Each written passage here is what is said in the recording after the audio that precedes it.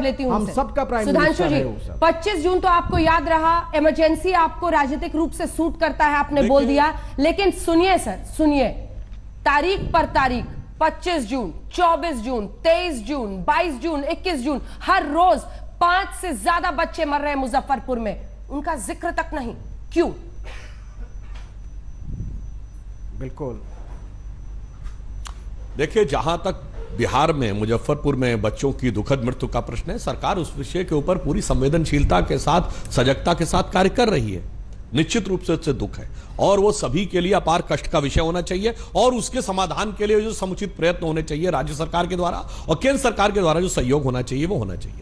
परंतु आज जब संसद में बात हो रही है अगर कुछ घटना, कहीं पे कोई किसी की लिंचिंग की बात तो कहीं किसी के अन्य की बात, उसकी इमरजेंसी तुलना करना मुझे जानते हैं कैसी बात नज़र आती है अंजना जी? जैसे हम लोग बचपन में सुनते थे ना, कहीं दंगा शुरू हो जाता था तो अचानक कहीं से ये अफवाह उड़ जाती थी कि इस्लाम खतरे में है। अरे भैया, दो दंगे हो गए तो साहब इस्लाम खतरे में हो गया। वैसे ही दो घटनाएँ और इमरजेंसी की तुलना। अरे इमरजेंसी के पैरामीटर क्या थे, आपको याद है? सारे मानवाधिकार आपके समाप्त। Fundamental rights provided by the constitution आज से समाप्त हो गए।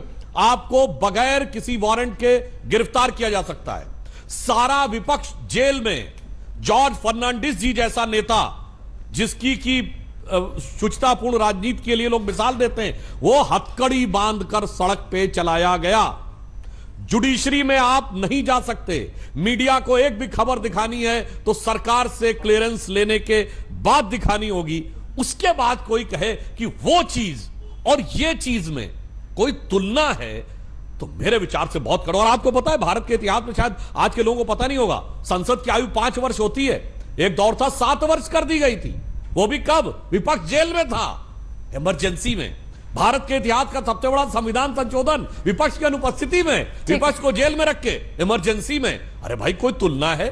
सतीश प्रकाश जी कह रहे हैं विकास की बात नहीं की। अरे, प्रधानमंत्री जी ने पाँच ट्रिलियन डॉलर की इकोनॉमी की बात कही और याद दिलाया कि जब आज़ाद हुए तो हमारे यहाँ कितनी ऑर्डिनेंस फैक्ट्री थी? चीन में एक नहीं थी। आज चीन आर्म्स का एक्सपोर्टर और हम सबसे बड़े इंपोर्टर तो ये सारी चीज़ें भी यथार्थ थी। और आज के समय में संसद के अंदर क्या हुआ?